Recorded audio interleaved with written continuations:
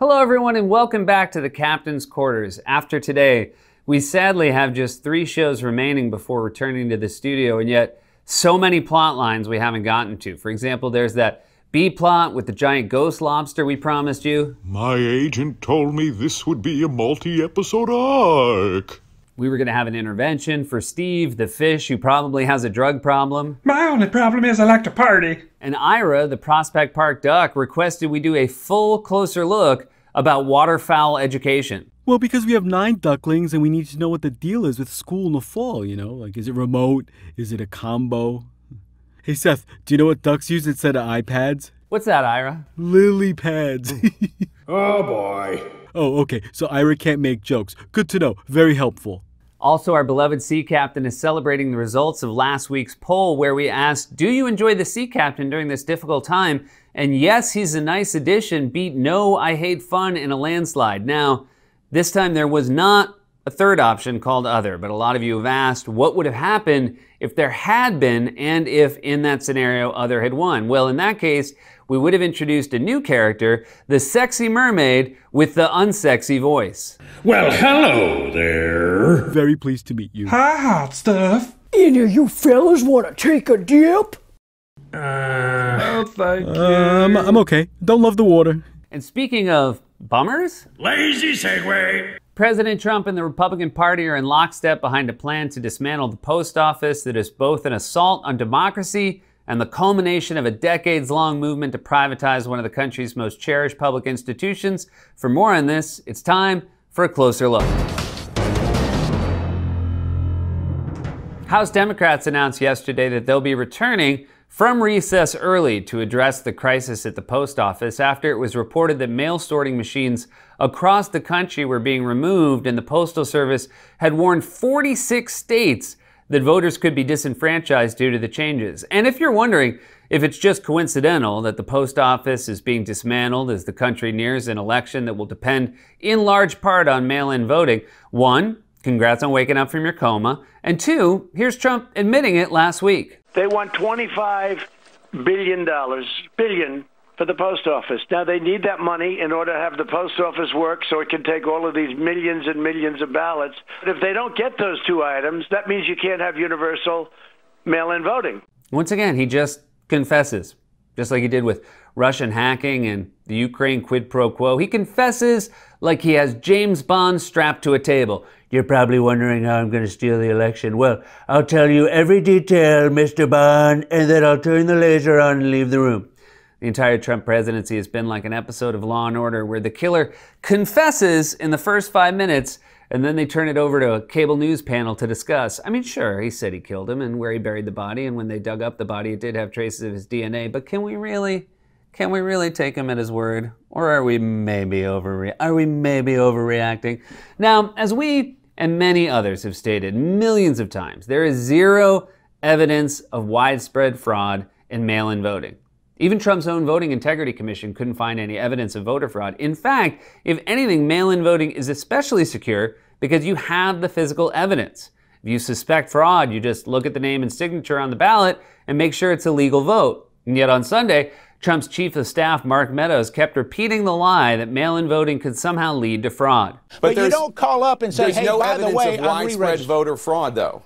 Uh, that's, But there's no that's ev- not- evidence of widespread there's, voter there's fraud. No, there's no, there's no evidence that there's not either. That's not how evidence works. You can't arrest someone for possession of cocaine because they can't prove they don't have any cocaine. but do you have any? I can get some if you join me for a dip. Uh, no thanks. I'm gonna get clean. That was the intervention.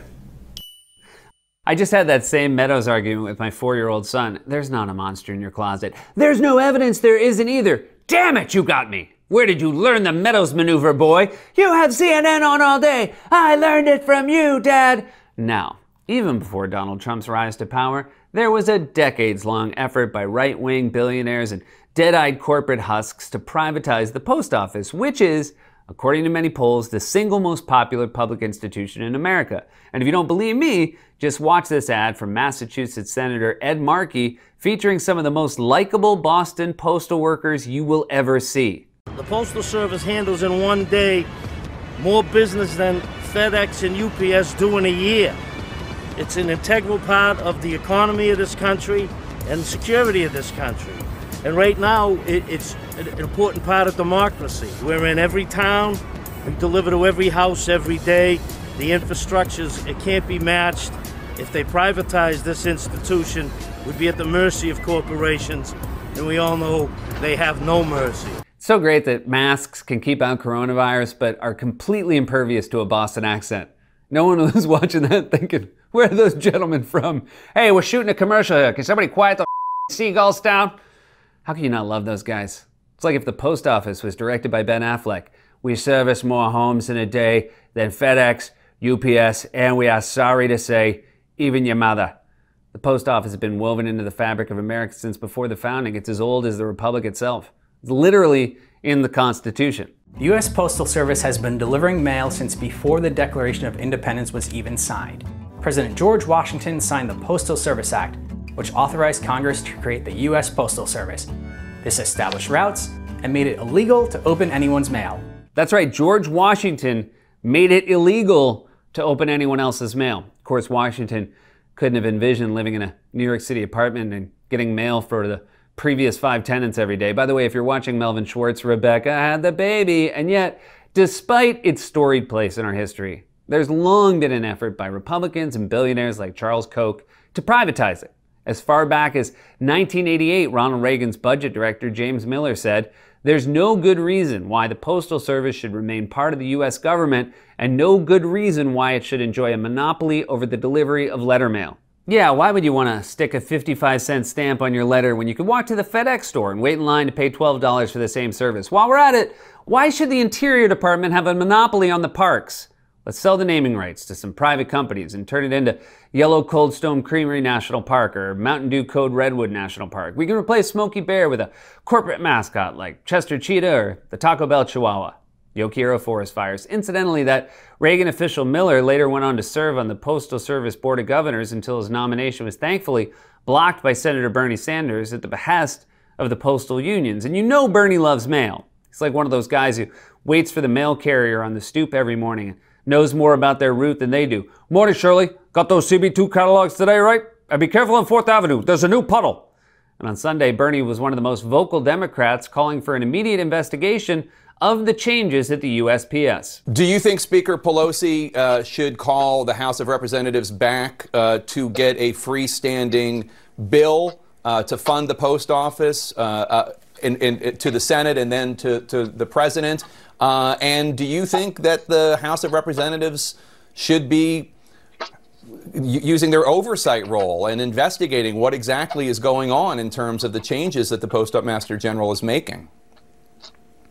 The answer to both questions uh, is yes. Over three months ago, three months ago, Democrats in the House passed the HEROES bill.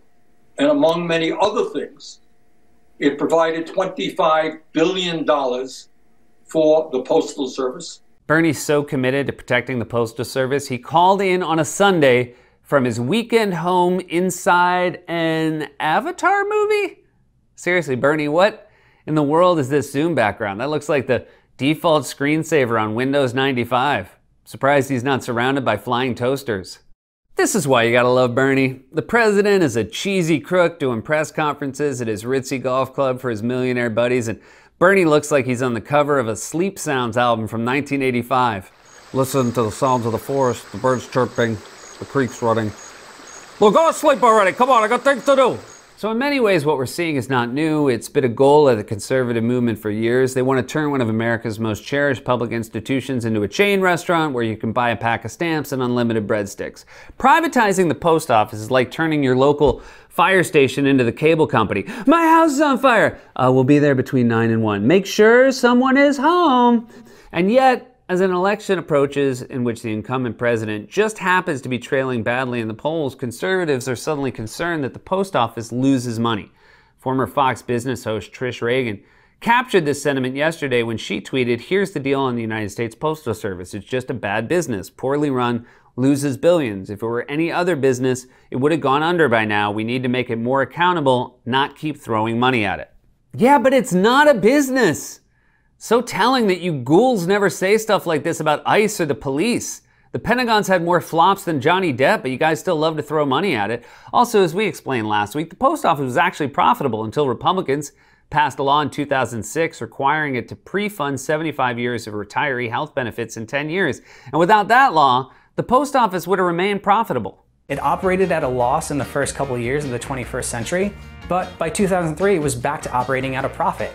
In fact, from 2003 through 2006, USPS recorded a total $9.3 billion profit. If not for the 75 year pension and healthcare obligation, the USPS would have reported operating profits for the last six years. The post office turned a profit. Even Uber isn't profitable. In fact, if anything, Uber should be taking cues from the Postal Service. Instead of a Chevy Suburban, they should be riding around picking people up in a mail truck. Hang tight, I gotta pick up three more people. So the same Republicans who are now complaining that the post office loses money are the ones responsible for the post office losing money.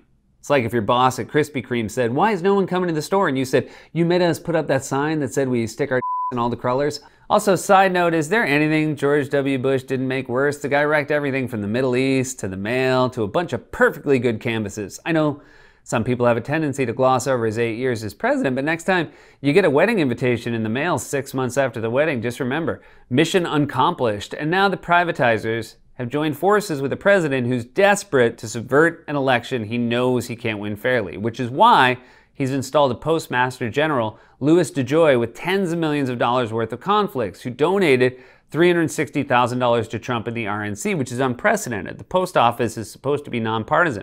Putting this guy in charge of the post office is like putting Tom Selleck in charge of HUD. Don't worry, I won't take your house. Would Mr. Baseball lie to you?